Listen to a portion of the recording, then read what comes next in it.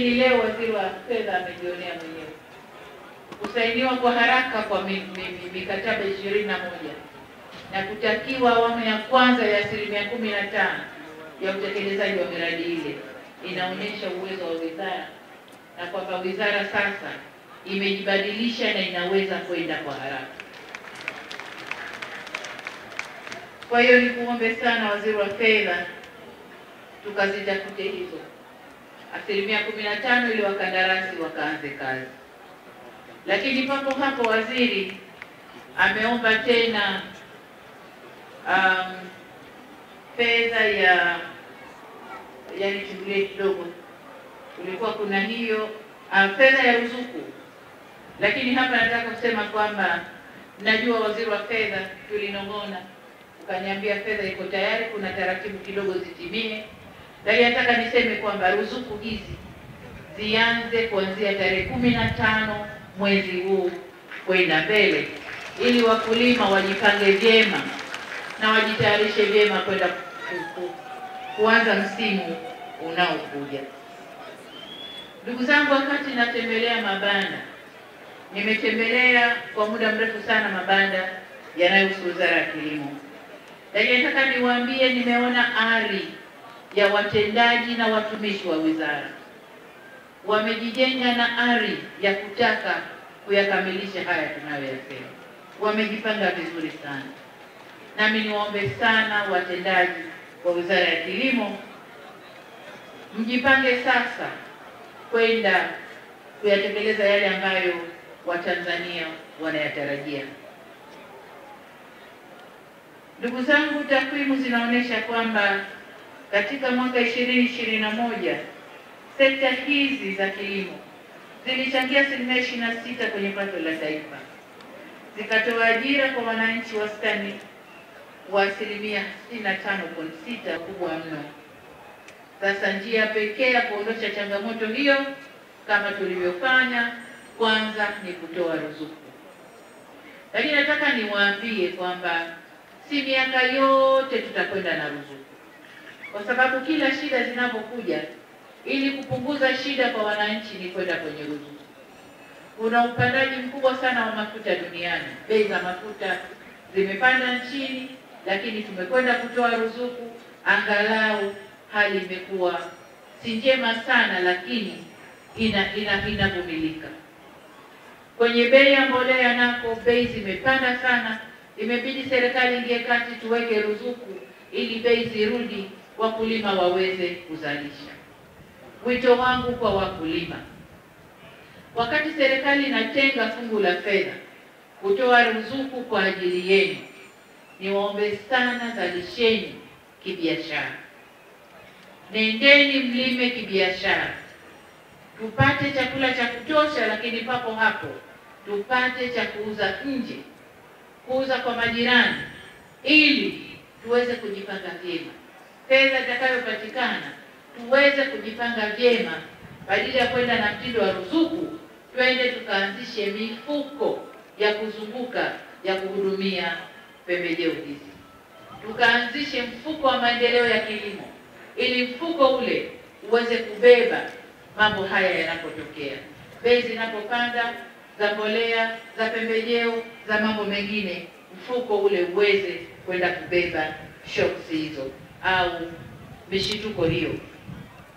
Kwa niombe sana ndugu zangu, wakati serikali imeonyesha upendo, nanyi kajitumeni, tuzalishe kwa wingi, tuuze kwa wingi, lakini msisahau pia kulipa zile tozo zilizobakia.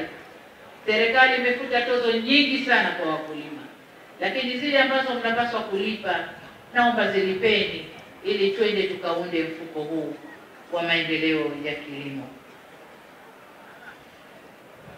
Um,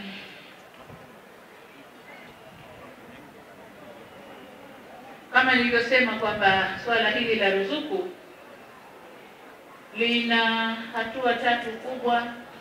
Moja ni hiyo ruzuku za haraka haraka, lakini mbili, kuzalisha mbolea hapa nchini, na tumeshachukua hatua. Kuna mwekezaji wa kiwanda cha mbolea pale Dodoma, lakini ndugu zetu wamejibu na wenyewe wanazalisha mbolea na tumewajengea mazingira ya kupata mkopo mkubwa wa kutanua kiwanda ili watuzalishie mbolea inayokidhi vigezo hapa nchini.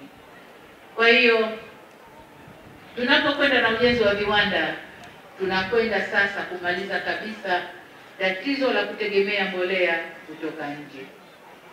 Lakini niseme kwamba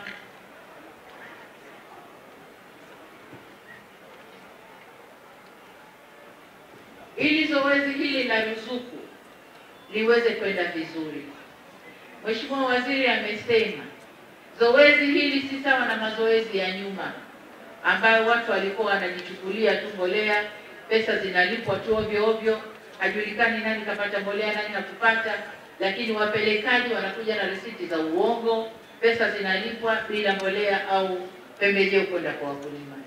Kwa hiyo shughuli hii isiwe ya Wizara ya Kilimo peke yake, kama alivyoomba wakuu wa mikoa, nami niongeze sauti yangu kuelekeza kwamba moja, Wizara ya Kilimo kuhakikisha mifuko yote ya mbolea, umeisema vizuri hapa na nimeona pale kwamba mifuko yote itakuwa na alama ya utambuzi. Hilo tayari umelifanyia kazi, lakini nyingine kuhakikisha kuwa kila kampuni iliyosajiliwa ya kusambaza mbolea ya ruzuku inatangaza mawakala wake watakaouza mbolea katika kila mkoa na wilaya, ili wananchi wajue mbolea hiyo inapatikana kwa wakala yupi. La tatu, aidha Wizara ya Kilimo na Wizara ya Fedha. Zihakikishe fedha ya ruzuku zinatolewa kwa wakati ili wakulima wapate pembejeo kuendana na misimu. Lakini nyingine, viongozi na watendaji wote katika ngazi ya mkoa, wilaya na halmashauri, kata na vijiji ushiriki kikamilifu katika usimamizi wa usajili wa wakulima watakaonufaika na ruzuku au ruzuku hiyo tunayoitoa. Na hapa nisisitize pia, niungane na waziri, usajili wa wakulima. Niombe wakulima wote muende mkajisajili. Mbele huko tutatoa vitambulisho kwa wakulima. Kitambulisho chako hicho ndicho kitakachokufanya uende kupata huduma kadhaa, ikiwa ni mkopo, ikiwa ni ruzuku, ikiwa ni mambo mengine.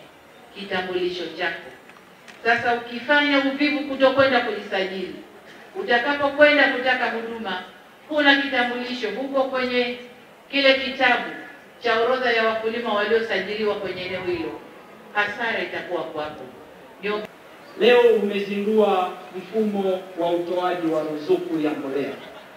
Mheshimiwa Rais, bei ya DAP sokoni ilikuwa laki moja na elfu thelathini na moja mia sita sabini na tano. Wakulima wataenda kuinunua sasa kwa shilingi elfu sabini. Mheshimiwa Rais, urea itatoka laki moja elfu ishirini na nne mia saba kumi na nne. Wakulima wataenda kuinunua kwa shilingi elfu sabini. Mheshimiwa Rais, mbolea aina ya kani ambayo leo inauzwa sokoni laki moja elfu nane mia moja na hamsini na sita wakulima wataenda kuinunua kwa shilingi elfu sitini. Mheshimiwa Rais, mbolea ya esei ambayo leo sokoni inauzwa shilingi elfu themanini na saba mia nane sabini na mbili bei ya wastani, wakulima wataenda kuinunua kwa shilingi elfu hamsini. Mheshimiwa Rais, mbolea za NPK hizi ni mbolea mbalimbali zinazotumika kupandia ambazo zina wastani wa bei ya laki moja elfu ishirini na mbili mia sita tisini na tano wakulima wataenda kuinunua kwa shilingi elfu sabini kuanzia sasa. Mheshimiwa Rais, mfumo huu wa utoaji wa ruzuku ulipotupa maelekezo mwezi wa nne, nakumbuka ulituuliza mtahakikishaje ruzuku hii tunayoitoa inaenda kumnufaisha mkulima? Mheshimiwa Rais, naomba kama wako hapa makampuni yote yaliyosaini MOU yasimame ya mbolea, lakini vile vile nitumie nafasi hii kuzishukuru taasisi za fedha nazishukuru, naishukuru kampuni nashukuru kampuni ya Vodacom, ninashukuru benki ya CRDB na NMB. Mheshimiwa Rais, mfumo huu Mheshimiwa Rais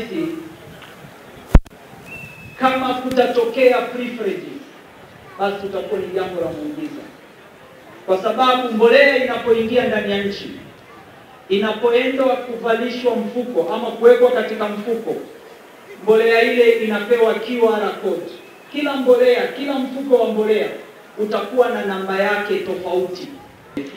Mheshimiwa Rais, maamuzi haya, sekta yetu ya kilimo kwa ujumla wake inachangia wastani wa asilimia 25 ya pato la taifa, lakini ndio imeajiri zaidi ya asilimia 60 ya Watanzania. Maana yake watu wengi tunachangia kidogo, tunagawana umaskini. Njia pekee ya kutatua tatizo hili ni kuongeza tija, Mheshimiwa Rais, na tija ulishaanza hii kazi, umetupatia vitendea kazi kwa maafisa ugani, tunafanya kuwafundisha, tunatoa soil kit, lakini vile vile ili mkulima aweze kuzalisha kwa tija, anahitaji mbegu, anahitaji pembejeo, mojawapo ni mbolea. Tatizo lilikuwa ni gharama ya pembejeo. Leo umechukua hatua ya pili, Mheshimiwa Rais, ya kufuta ya kupunguza gharama za pembejeo. Mheshimiwa Rais, nataka niwaambie Watanzania wenzangu, wastani wa utumiaji wa mbolea kwa hekta katika nchi za kwa hekta moja ni kilo 53. Tanzania mkulima anatumia kilo 19, bado ataendelea kuzalisha kidogo. Hatua hii Mheshimiwa Rais haitokuwa ya kujuta. Mheshimiwa Rais, umewekeza kwenye umwagiliaji. Leo umeshuhudia utiaji saini wa miradi ishirini na moja yenye zaidi ya bilioni mia moja na themanini na kitu. Mheshimiwa Rais, kitu pekee ambacho sisi kama watekelezaji tunachokiomba na tunamshukuru waziri wa fedha yuko hapa, Mheshimiwa Rais, ni 15% ya down payment. Ili wakandarasi waingie site